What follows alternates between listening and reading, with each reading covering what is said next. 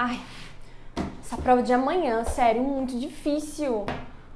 E se eu não passar? Como é que vai ser? Meu futuro profissional, minha vida acadêmica, tudo que eu sonhei. Ai, e agora? Espera aí. Para garantir o seu sucesso no mercado de trabalho, não tem prova mágica que possa definir o seu futuro. O que você precisa mesmo é se destacar na faculdade. E para te ajudar nessa missão, eu vou te contar três dicas infalíveis. A primeira dica é: faça iniciação científica e estágio. É isso aí. Essas são excelentes formas de você colocar em prática aquilo que você aprende em sala de aula. Se você quer ser um pesquisador ou então seguir uma carreira acadêmica, o primeiro passo pode ser sim a iniciação científica. Já no estágio, é uma excelente oportunidade de você seguir carreira ali e observar o dia a dia da sua profissão. A segunda dica é: escreva e publique artigos. Eles são fundamentais para o desempate de concursos públicos e também para a seleção de mestrados e doutorados.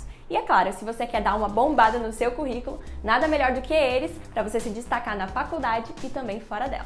A terceira dica e uma das mais importantes é: organize eventos. Pois é, organizar eventos vai te dar uma amplitude assim em relação ao seu curso. Ali você vai adquirir conhecimento, conversar com diversos profissionais da área e ainda deixar o seu currículo Lattes super completo.